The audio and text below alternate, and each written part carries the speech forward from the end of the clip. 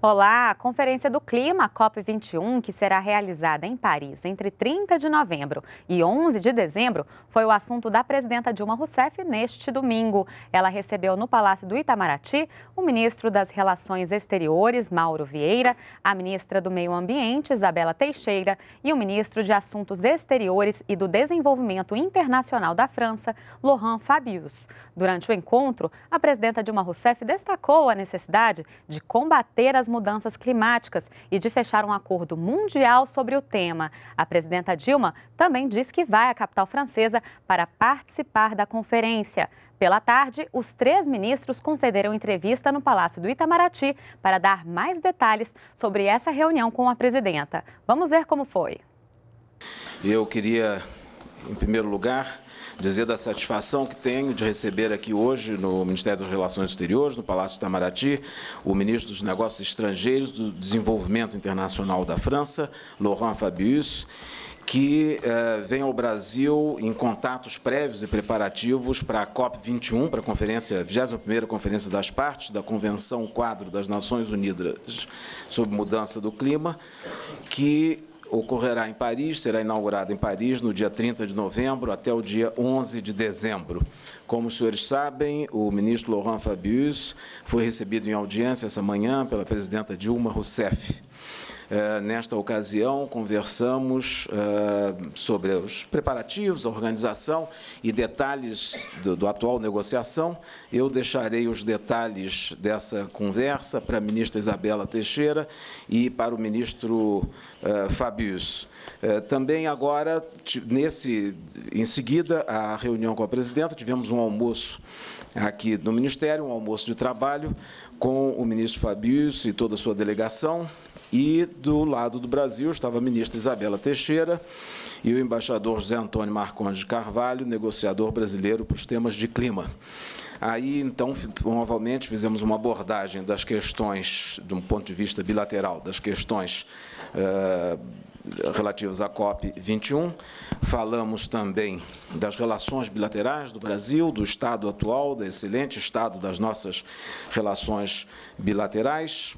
É, conversamos sobre assuntos regionais e globais, reiteramos a solidariedade brasileira aos tristes eventos terroristas acontecidos em Paris no dia 13 eh, último. Eh, conversamos e trocamos eh, informações e ideias sobre o acontecido, sobre as medidas adotadas pelo governo francês e sobre as medidas que serão tomadas também no âmbito internacional. Em seguida, conversamos sobre ah, o estágio atual das negociações entre o Mercosul e a União Europeia. O, expressamos, reiteramos ao ministro Fábio o desejo do governo brasileiro e de todo o Mercosul de passar a fase da troca de ofertas para o acordo Mercosul-União Europeia e agradecemos o apoio do governo francês, que já nos foi uh, hipotecado mais, em mais de uma ocasião e voltamos a reiterar esse pedido para que a, a França continue a nos apoiar uh, para que possamos ainda este ano sentarmos em, seja em Bruxelas, seja em Assunção, que tem que, que o Paraguai tem a presidência pro tempore do Mercosul, para a troca efetiva de, de ofertas. E finalmente mencionamos, no âmbito das questões bilaterais, a possibilidade de inauguração da ponte que une o Brasil à Guiana Francesa. Examinamos a possibilidade de que essa inauguração se realize eh, em princípios do segundo semestre do próximo ano, tão logo se concluam as negociações necessárias de acordos, com, eh, de, de acordos bilaterais que visem facilitar o trânsito entre as populações dos dois lados, dos dois estados lindeiros e também as populações das regiões que queiram se dirigir a outro país por turismo, por negócios ou por qualquer tipo de necessidade. Eh, as discussões foram as melhores possíveis, creio que refletem plenamente o excelente estágio das nossas relações eh, bilaterais, que tradicionalmente das mais antigas são excelentes, de altíssimo nível. É um grande prazer, ministro Fabius, recebê-lo em Brasília e ficamos muito satisfeitos com a qualidade do nosso diálogo de hoje, como sempre acontece, e também do encontro que tivemos com a presidenta Dilma Rousseff. Eu, antes de passar para o ministro Laurent Fabius, pediria, então, que a ministra Isabela Teixeira dissesse também algo sobre a, área específica da COP21. Muito obrigado. Obrigada, chanceler Mauro Vieira. Eu queria saudar o meu amigo Fabius e toda a sua delegação que vem ao Brasil de maneira breve. É, espero que possa voltar com mais tempo, mas é, a importância da visita eh, do presidente da COP21 para um diálogo com o governo brasileiro em torno das expectativas de resultados, é, num diálogo que foi é, apresentado, travado com a presidente da República, mostrando um cenário geral é, do encaminhamento das negociações é, e as perspectivas de um resultado em Paris. É, todos nós nos mantemos otimistas em relação ao resultado de Paris. Mais do que isso, é, o chanceler compartilhou conosco uma visão é, de que as condições, há condições políticas para um novo acordo global em torno de redução de emissões de gases de efeito estufa, não só pelas questões postas na estratégia adotada das INDCs, mas também é, no esforço importante do compromisso dos dois graus nesse século e, mais do que isso, um, compromisso de não retrocesso, não backsliding é, em torno é, dos resultados, das expectativas de resultados que nós temos. Ah, a conversa foi uma conversa muito positiva, é, positiva no sentido de que o Brasil é, sinalizou também a importância de um bom resultado em Paris para o fortalecimento do multilateralismo e do regime de mudança do clima dizendo efetivamente que é importante que a gente dê prosseguimento a esse entendimento global da responsabilidade que todos nós temos de enfrentarmos as mudanças do clima.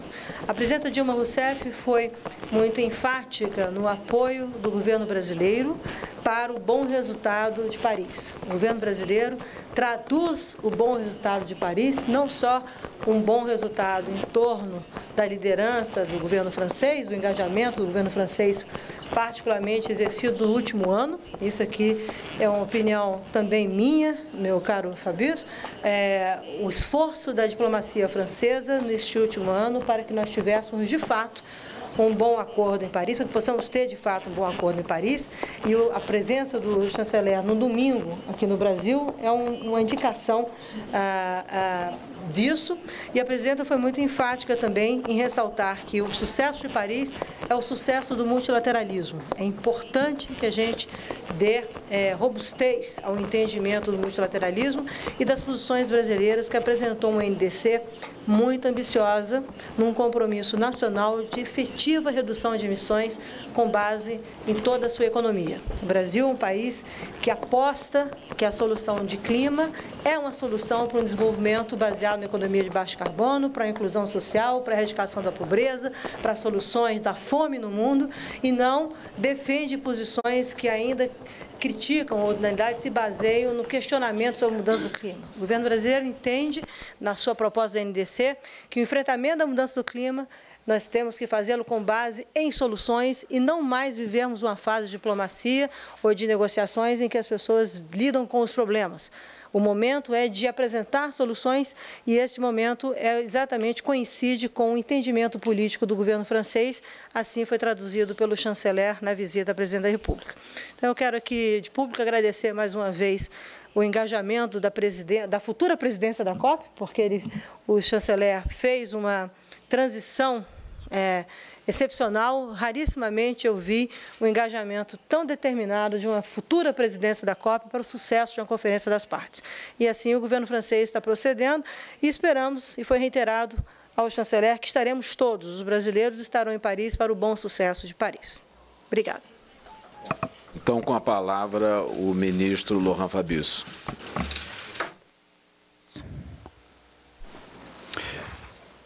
Chers amis, messieurs amigos, senhoras e senhores da imprensa, obrigado inicialmente pelo acolhimento, tanto a minha pessoa quanto a minha delegação em pleno domingo.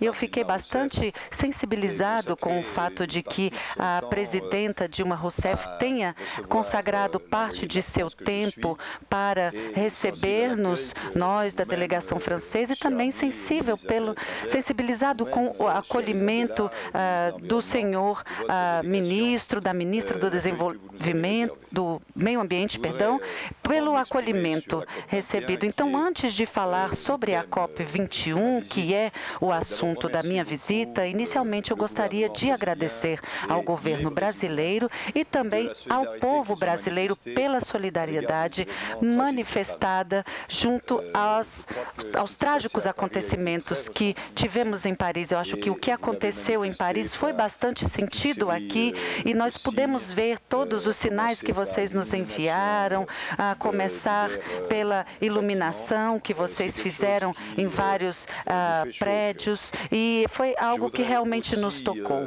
Eu gostaria também de dizer uh, aos senhores que estamos solidários uh, com vocês por, pelo pela catástrofe que houve em Mariana. Eu sei que é um acontecimento que teve várias consequências e que também foi muito sentido de forma bastante dolorosa, não somente aqui, mas também na França. E estamos é, junto de vocês para qualquer coisa e em qualquer circunstância. Essa minha viagem ao Brasil, ela tem uh, realmente uma estratégia de fazer um pouco algumas cidades importantes do mundo. Essa é a minha estratégia. Eu estive na Índia encontrando o primeiro-ministro Modi Ontem eu estive na África do Sul, encontrando o presidente Zuma e agora eu estou no Brasil para encontrar a presidenta Dilma, seu governo, e eu vou partir para Paris hoje à noite. E por quê?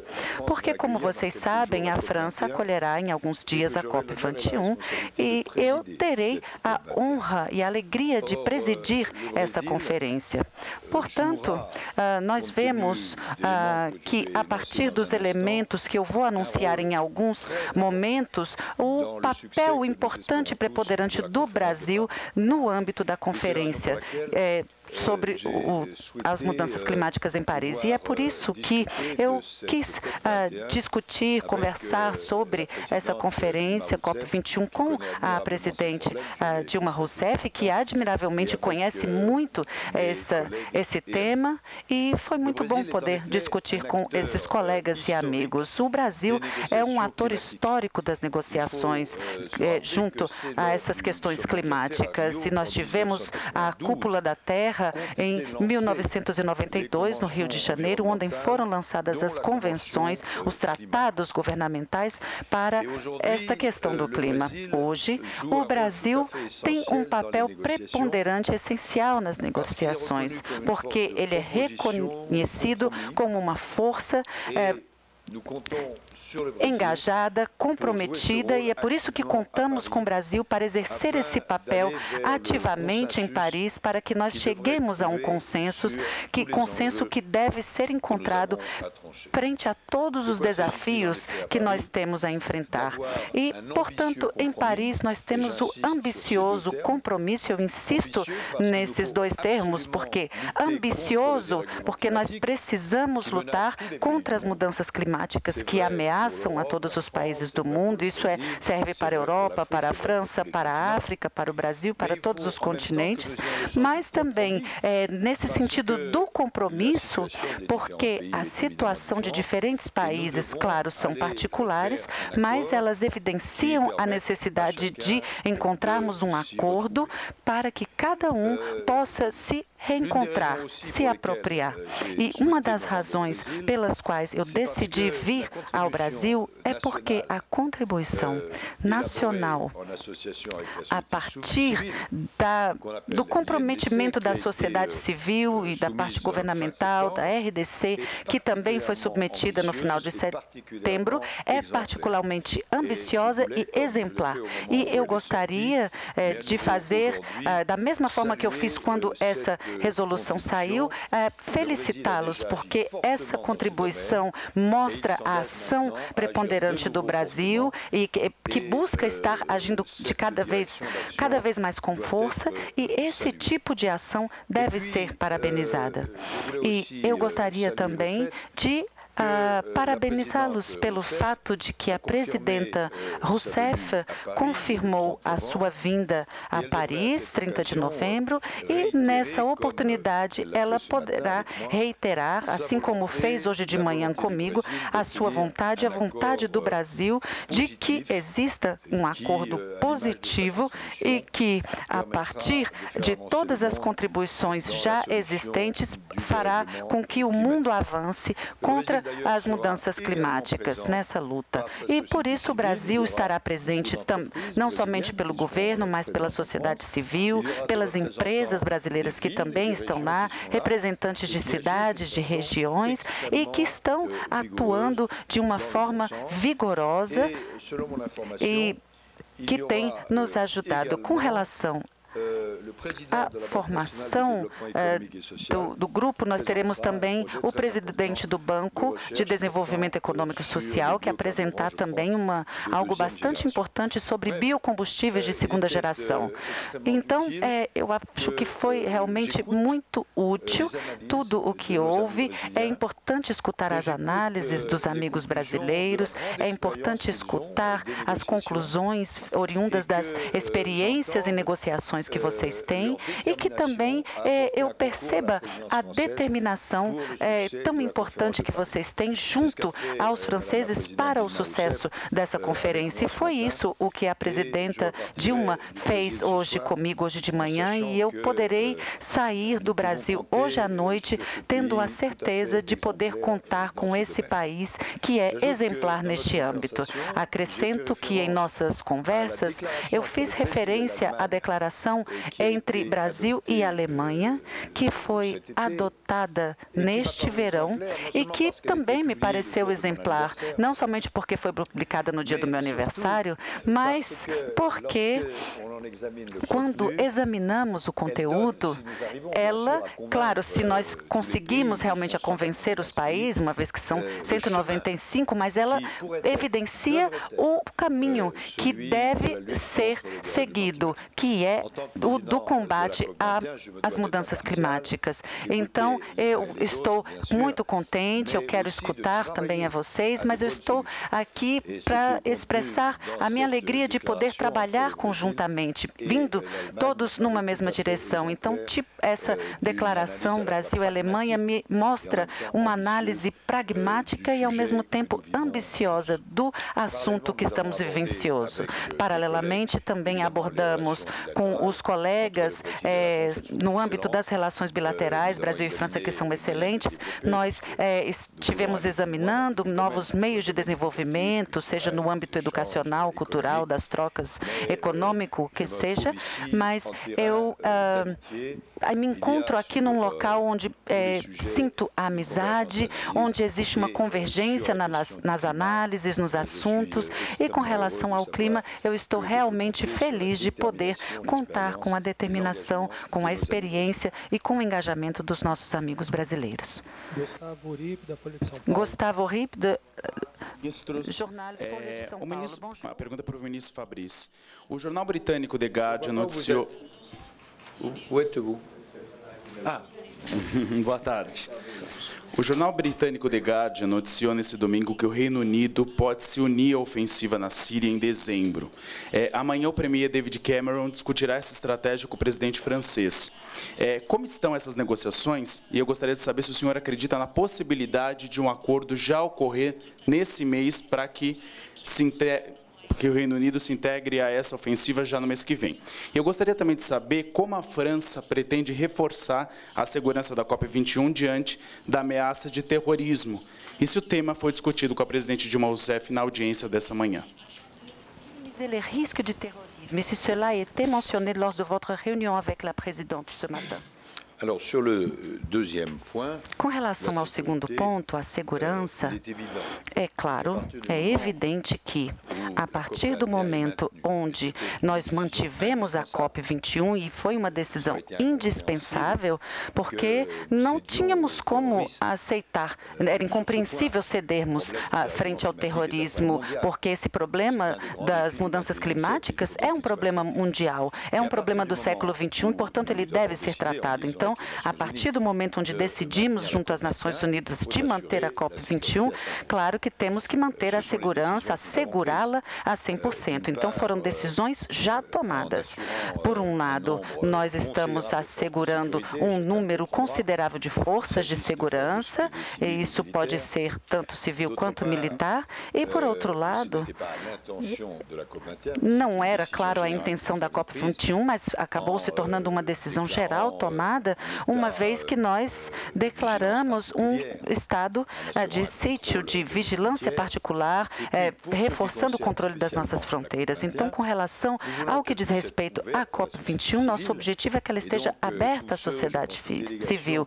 Portanto, todas as delegações que estão ah, pretendendo ah, ir até ali, eles vão estar num sítio protegido de Bourget e, e também acredito que cada um entendeu já, não estamos autorizando manifestações que estavam, que seriam é, tranquilas e que estavam sendo previstas para Paris e que poderiam acolher centenas de milhares de pessoas, mas não temos como assegurar a segurança a 100% de, dessa quantidade de pessoas. Os organizadores entenderam muito bem, então tudo o que é securizável é, dentro das salas e dentro dos uh, sítios onde é, temos a necessidade será assegurado a 100% para que nós tenhamos como controlar. Agora, a parte externa não temos.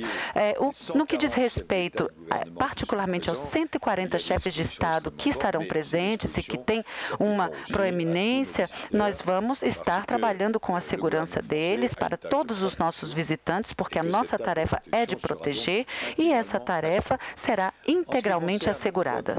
Com relação à sua outra questão, ela trata de um assunto, eu diria, um pouco diferente é, do, dessa minha visita, que diz respeito à Síria e ao governo britânico. Eu não sei o que o governo britânico vai decidir, eu tive a oportunidade de discutir sobre isso recentemente, uma vez que estive substituindo o presidente François Hollande no G20, e eu tive até a oportunidade de encontrar a presidente Dilma, e nós tivemos a oportunidade de conversar com o ministro Cameron para que nós tivéssemos como é, chegar a aumentar o envolvimento, a participação da Grã-Bretanha nestas operações é, em campo.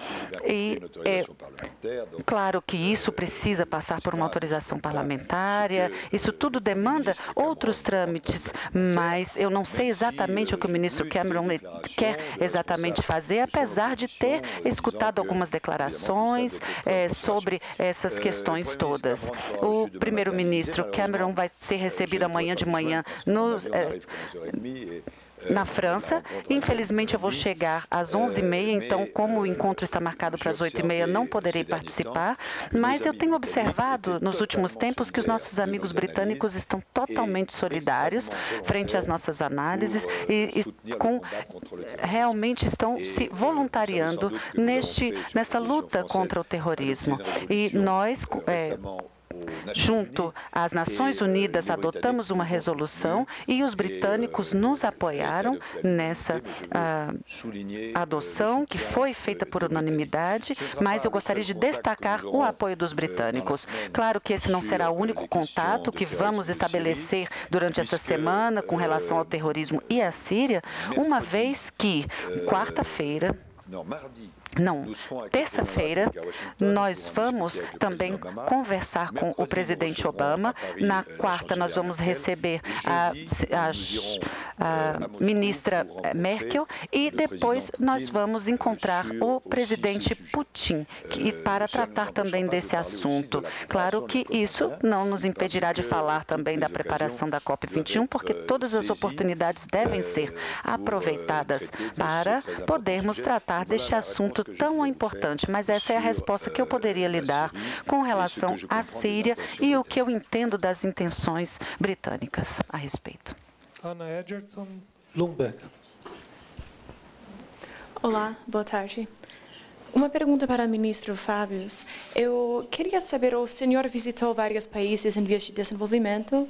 Eu queria saber se uh, preocupações ou assuntos uh, que os países têm em comum que estão travando as negociações, que ainda têm que ser um, decididos. E uma pergunta para a ministra Isabela Teixeira. Um, eu queria saber como foi tratado o desastre em Mariana, do barragem de Samarco, e se o Brasil está discutindo mudar as regulamentações para ambientais depois desse desastre, como vai ser apresentada a reação brasileira em COP21.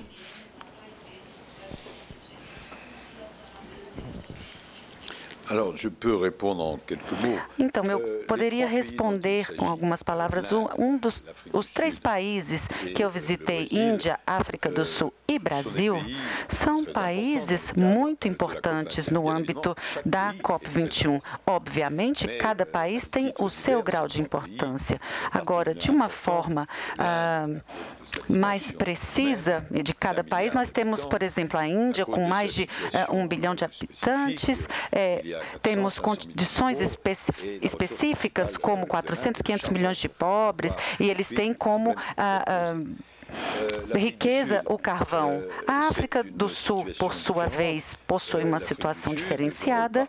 Ela tem um papel preponderante na África, junto à União Africana. A União Africana preside atualmente o grupo dos uh, 77 e da China. Então, existe essa esse tipo de análise que é importante. O Brasil, como eu falei há pouco, é um ator de primeiro plano que tem uma grande experiência histórica nesse âmbito, suas análises são respeitadas e o INDC é muito, INDC é muito importante. Portanto, eu escutei o que os responsáveis uh, nos comentaram, eu tentei fazer uma síntese de tudo. Agora, o que mais me tocou, me impressionou é que cada país, apesar de suas diferenças, desejam, e eu vejo que é de forma extremamente sincera, o sucesso da Conferência de Paris. E porque, por um lado, esse problema das mudanças climáticas é universal, porque existe agora uma conscientização deste problema frente à população, os ah, cientistas nos ajudaram muito nesse sentido, e hoje existe uma disponibilidade que não existia anteriormente. Nós comentamos comentamos sobre isso ah, com a, a, presidenta Dilma, que também esteve na. É, nós falamos sobre a cúpula de Copenhague. Nós vemos todo o engajamento de novos países, de inovações das INDC. Hoje, enquanto eu estou falando, nós temos 170 países de 195 que publicaram o seu INDC. Então, nós vemos que cada um é, dentro das suas possibilidades, mostra esse avanço. E, portanto, nós vemos que é, é possível ver é, o futuro para 10 anos, 15 anos, 20 anos próximos. E mesmo os países que não tiveram como entregar INDCs muito ambiciosos, o fato de terem entregue e terem realizado esse exercício evidencia a vontade de avançar. Portanto, o que eu pude perceber é uma vontade comum de que nós tenhamos muito sucesso em Paris. É, sobre a questão de Mariana, é, acho que inicialmente é, eu gostaria aqui de destacar, e da mesma maneira que a presidenta Dilma apresentou a solidariedade do povo brasileiro ao que aconteceu em Paris, o chanceler francês também apresentou a solidariedade do povo francês ao povo brasileiro do que o desastre ambiental sem precedentes que nós temos em Mariana. A segunda questão é que o, o desastre é, ainda está na fase crítica da emergência, como a gente chama. A lama, o que chegou é, ainda ontem é, no litoral, é ainda a primeira fase, a primeira mancha que a gente chama do processo de carreamento do que foi vazou das, da, das, da barragem do fundão. Nós estamos esperando para hoje, ou essa madrugada, a chegada da lama propriamente dita, Obviamente, está é, tá sendo monitorado todo o impacto disso. É, não mais a questão, a questão de água já está impactada no município de Colatina, com as ações de emergências que foram tomadas, e o município de Linhares não capta diretamente no Rio Doce. Tá? Então, nós estamos com ações de emergência para a proteção da fauna e dos ecossistemas. é, desde o primeiro dia, que vale uma referência importante, que desde o primeiro dia nós temos um sistema de alerta de emergências no IBAMA, e eu fui comunicada do acidente perto de 19 horas do dia 5 do 11. Imediatamente liguei para o governador de Minas Gerais, que já estava em Mariana, à procura de vítimas, tentando procurar o primeiro momento, entender o que era aquilo e agir com a Defesa Civil.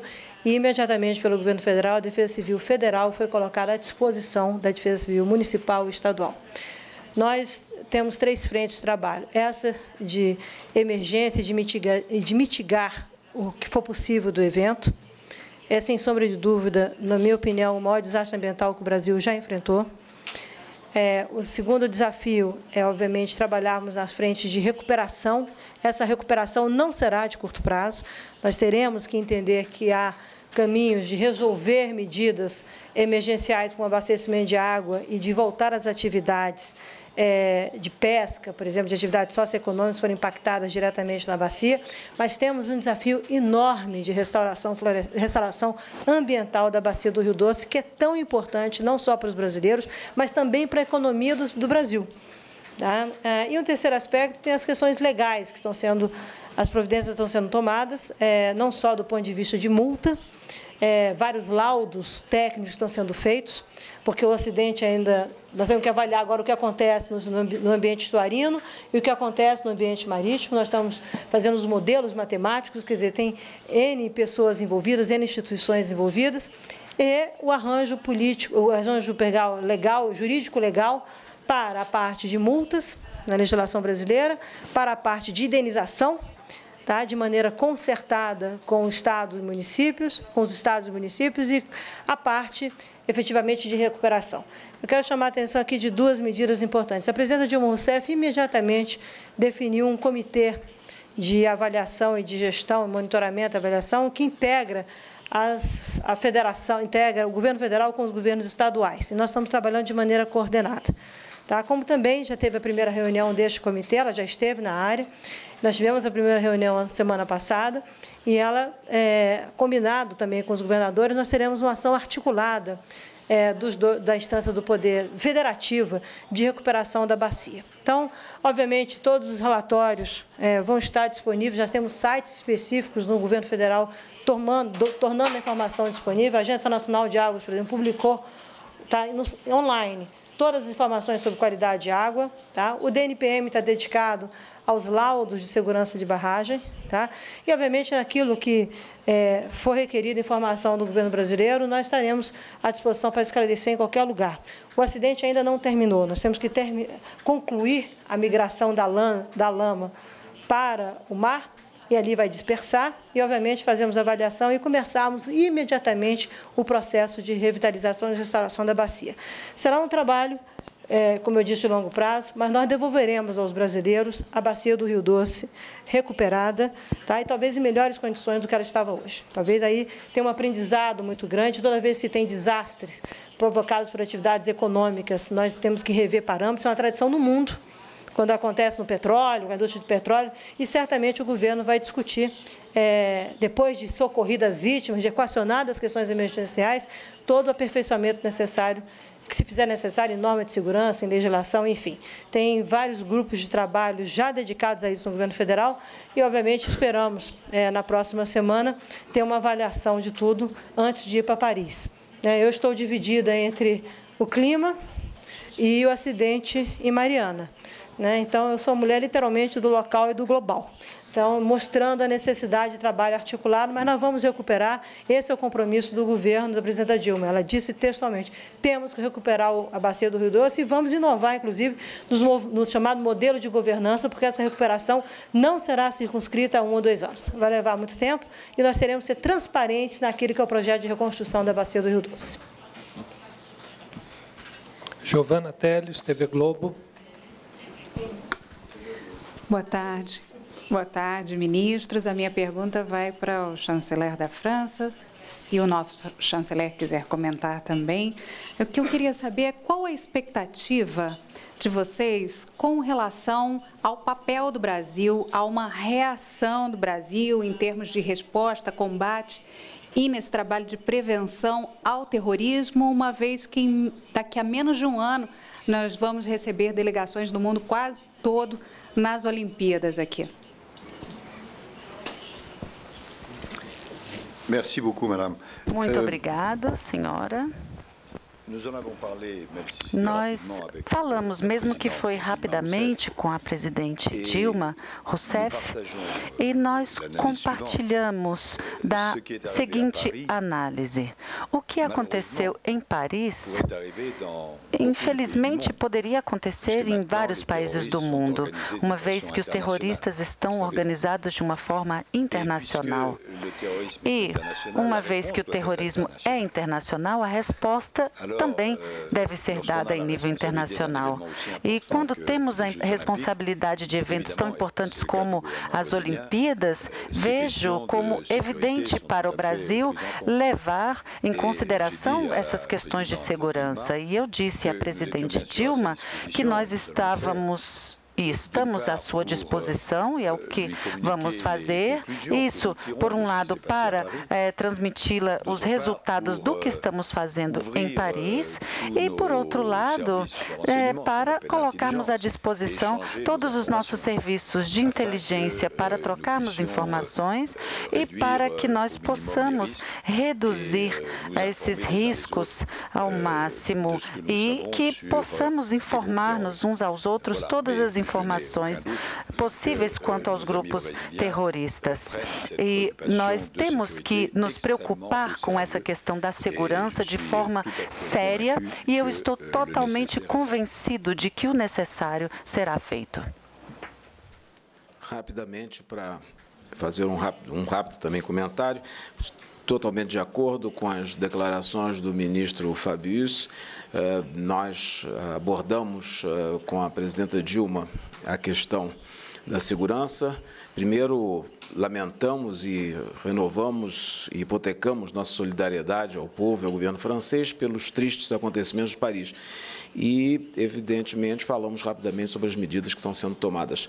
Agora, ao longo do nosso almoço de trabalho, voltamos a, discu a discutir a questão e o ministro Fabius ofereceu uma troca, a possibilidade de troca de informações e de experiências do governo francês eh, sobre a situação, sobre o caso.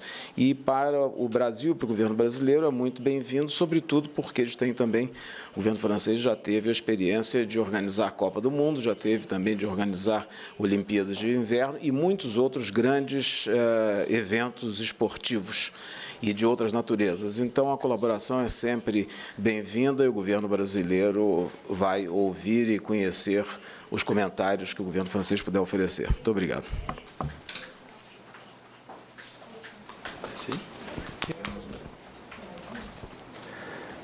Monsieur le ministre, bonjour. Pierre Rosseil de la- de l'agence France Presse.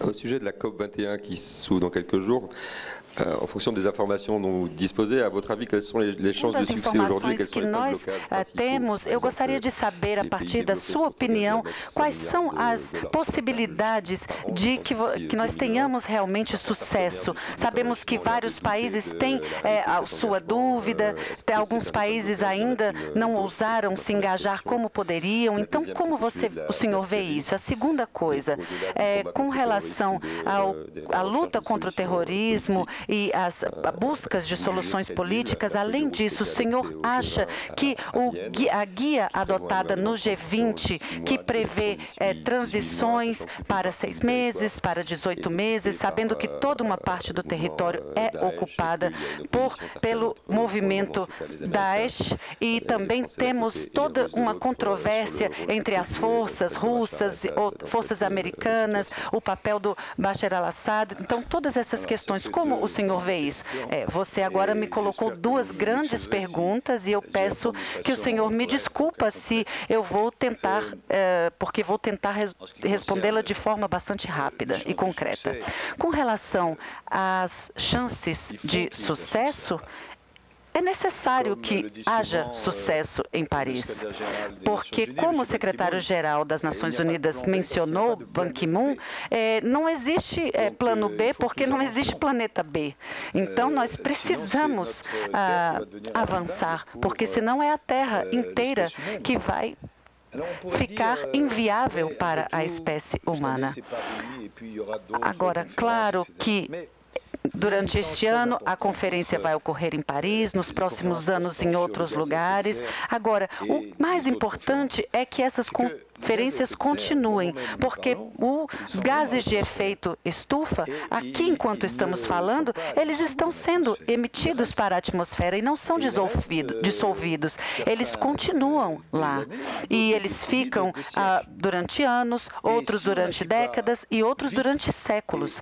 E se nós não agirmos de forma rápida e eficaz, nós vamos ultrapassar o limite. E aí não vamos ter mais como correr atrás. Portanto, é necessário que tenhamos sucesso este ano. Claro que na, nem tudo será resolvido, precisaremos de outras conferências para isso, mas eu posso dizer a vocês que o Paris está num momento de mudança, onde as decisões estão sendo tomadas para que nós tenhamos a certeza de que não vamos é, ultrapassar o aumento dos dois graus, como estamos prevendo através das nossas discussões. Claro que eu não tenho como falar de todas as questões que estão ligadas e que têm até nomes complicados para os não especialistas, como adaptação, mitigação, ah, perdas e danos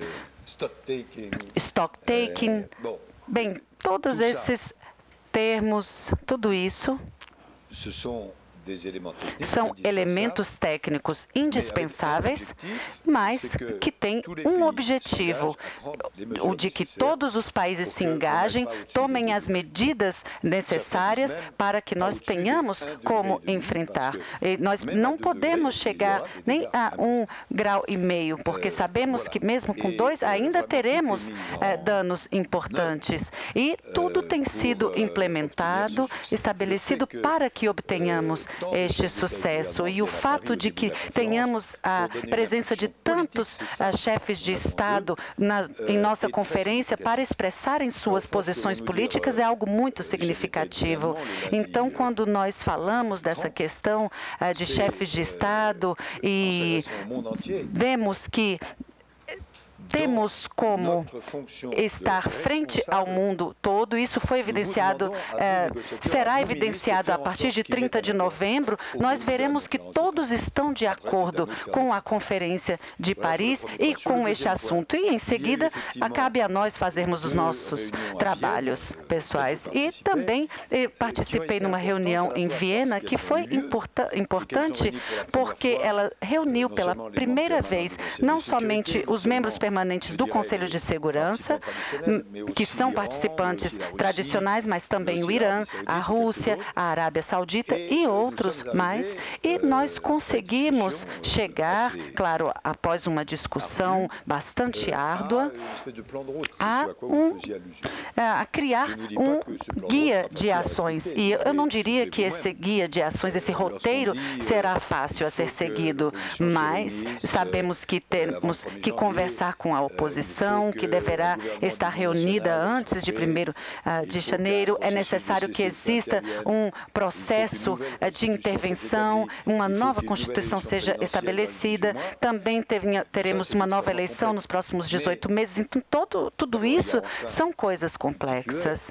E nós Estamos pensando em tudo isso e, além do mais, temos algo que é bastante justo, ou seja, precisamos lutar contra o Daesh de forma implacável. E isso vai passar pela necessidade de utilizar a força.